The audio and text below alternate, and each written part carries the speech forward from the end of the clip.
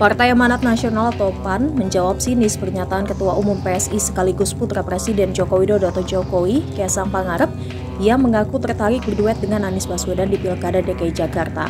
Wakil Ketua Umum PAN Viva Yoga meyakini pernyataan Kaisang Pangarep yang mengaku ingin berduet dengan Anies Baswedan di Pilkada DKI Jakarta masih sekedar omon-omon. Viva Yoga mengatakan Pilkada Jakarta memang menarik, seiring dengan provinsi itu nantinya akan menjadi daerah khusus. PAN pun mengaku menghormati siapa pun yang mau maju ke Pilkada DKI Jakarta. Namun kata Viva, dinamika politik Pilkada Jakarta masih dinamis.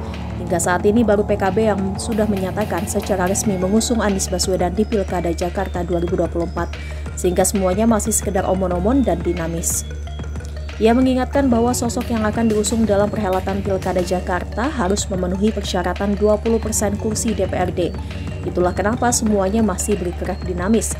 Hingga kini PAN sendiri masih konsisten mengusung kadernya sekaligus anak Ketua Umum PAN Zita Anjani sebagai calon wakil Gubernur DKI Jakarta.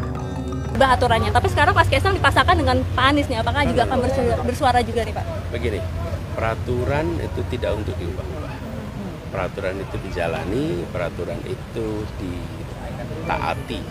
Itu prinsip. Jadi menurut hemat kami sekarang kita serahkan nanti bagaimana itu KPU menyikapi. Tapi menurut saya yang disebut sebagai aturan main itu tidak diubah-ubah dalam perjalanan. Itu prinsip. Nanda main catur, tengah-tengah main catur, aturannya diubah. Repot, ya. Berarti Mas Kaisang nggak masuk kriteria ya Pak Anies ya? Mas Kaisang nggak masuk kriteria. Bapak ke sini Pak. Anies. Pak berarti Pak, Pak, berarti Mas Kaisang nggak masuk kriteria Pak. Pak foto Pak.